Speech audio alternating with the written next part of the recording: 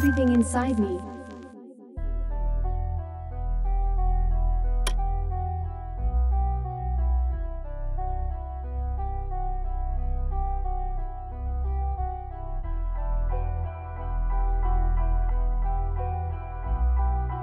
In the video Montero Call Me By Your Name, Lil Nas X descends to hell and literally grinds on Satan. The rapper also released custom Satan shoes which contain actual human blood and limited to 666 pairs.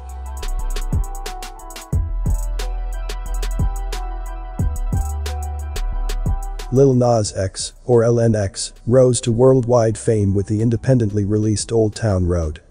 In a matter of weeks, the song went from being a viral sensation to the international hit that defined the year 2019. The success of Old Town Road was due to several facts. It was fun, it was catchy, and it bridged the gap between rap and country music. The result, children were dancing to the song while chanting every word of its lyrics at birthday parties and summer camps. Then LNX got signed to Columbia Records.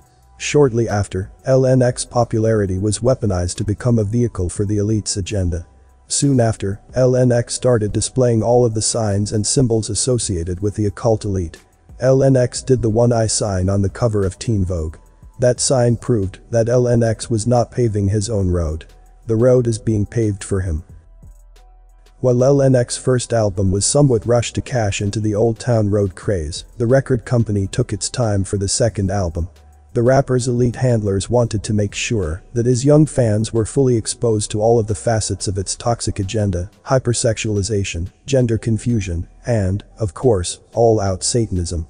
The result, the first single, Montero Call Me By Your Name, shamelessly proselytizes for Satanism while bombarding young viewers with explicit imagery. If you watch other videos on this channel, you know that this agenda is nothing new. However, it used to be much more subtle.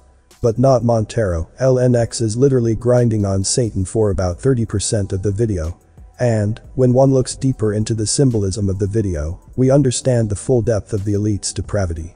We also understand how they prey on the minds of young people like vultures. Here's a look at the video. Before I continue the video, please give a like if you've learned something. And, don't forget to subscribe, and also, click the notification bell too, so you won't miss any update. And, watch to the end to avoid misunderstanding. Thank you.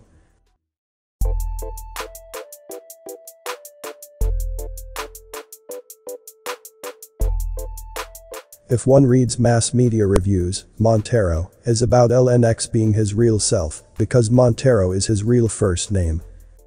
However, the video tells a whole other story.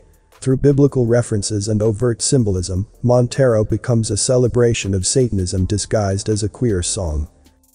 The first scene shows a heavenly setting. However, the horns hint at evil lurking. The video begins with a narrator saying, In life, we hide the parts of ourselves we don't want the world to see. We lock them away. We tell them no. We banish them. But here, we don't. Welcome to Montero. Some might think that this is about LNX wanting to be openly gay.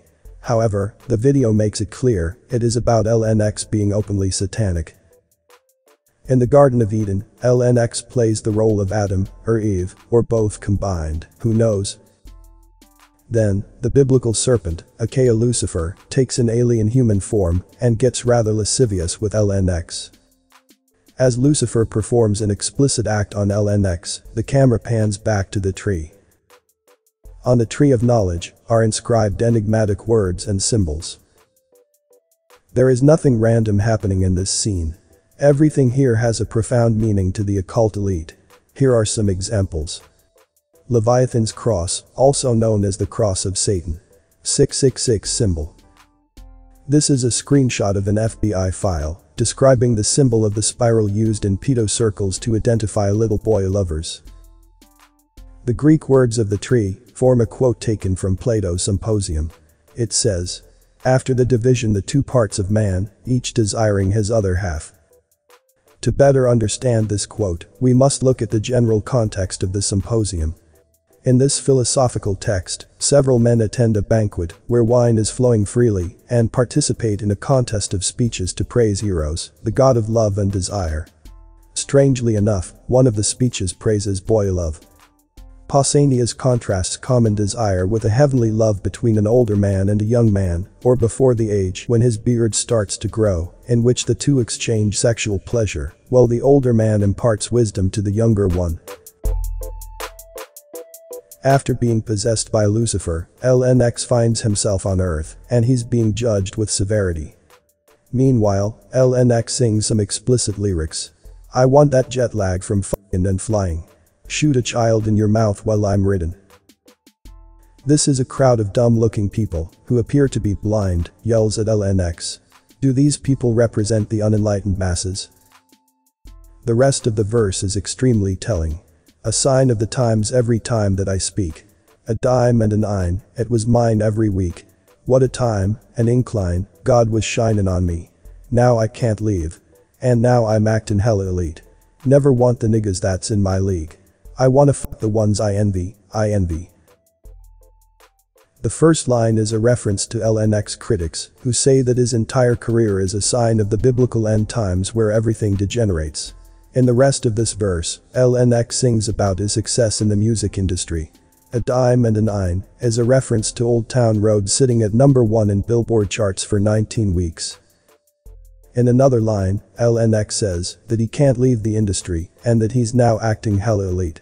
In other words, he's stuck and he's under the control of the industry. The last line is about him lusting after those he envies, which is a direct reference to two cardinal sins of Christianity, lust and envy. In other words, he now lives by the sinful ways of the elite. After being stoned by the people, LNX ascends to heaven. However, a stripper pole emerges, and LNX decides to descend into hell. As a stripper. This screenshot shows LNX is now in underwear and knee-high boots, as slides down a stripper pole to hell. This screenshot shows LNX arrives at the throne of Satan. This scene is replete with symbols that are used in actual black magic and satanic rituals. There is a reason why these exact symbols keep appearing in popular culture. This is not entertainment, this is religious indoctrination. Symbol on the ground is inspired by the goat of Mendes pentagram as depicted by Stanislas de Guaita in Clef de la Magie.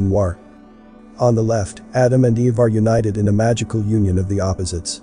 LNX embodied the same concept at the beginning of the video, on the right is the goat of Mendes inside an inverted pentagram. This symbol was used to form the sigil of the Church of Satan. Around the pentagram is the Latin saying damnant quod non intelligunt, which means they condemn what they don't understand. Dude, Lil Nas X, if that's even your real name, I don't think you fully understand what this is all about. Then, LNX literally grinds on Satan for an uncomfortable amount of seconds. This scene sums up the entire video. And it sums up the message the elite wants to communicate to young people. This is not about being yourself, it is about becoming a literal prostitute to the elite system and submitting to its satanic ways.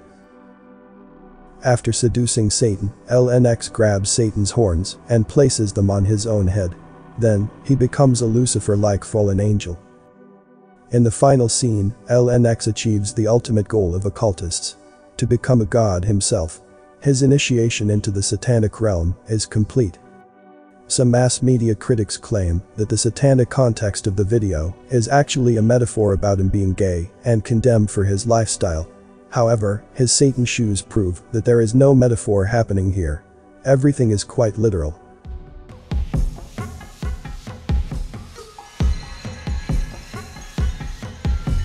Alongside his Infernal video, LNX collaborated with the streetwear company MSCHF to release custom Nike sneakers. The number of pairs available, 666. The imagery on the official website of the shoes is basically a shrine to Satan.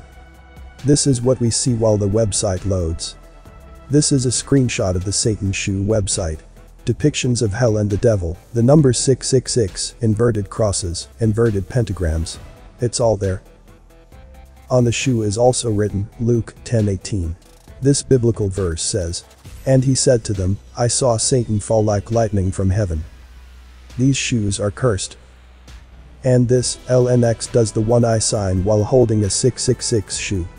What else does he need to do to make you understand that he's a complete slave to the satanic elite? The website also mentions that the sole of each shoe contains one drop of human blood. The fact that this item contains actual blood is extremely meaningful. First, the elite loves to wear items that contain actual human organic matter. Furthermore, the drop of blood alludes to the elite's favorite activities. Witchcraft and blood sacrifices.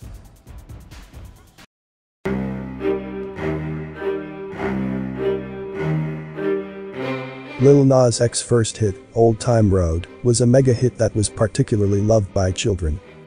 As with nearly every celebrity that is popular with young people, LNX was recruited by the elite to propagate its toxic agenda. The video Montero manages to combine all of the toxicity the elite wants to indoctrinate the youth with hypersexualization, gender blurring, and the promotion of Satanism as a cool religion. Contrary to what is being said in mass media about this song, nothing about it empowering or liberating. It is about slavery.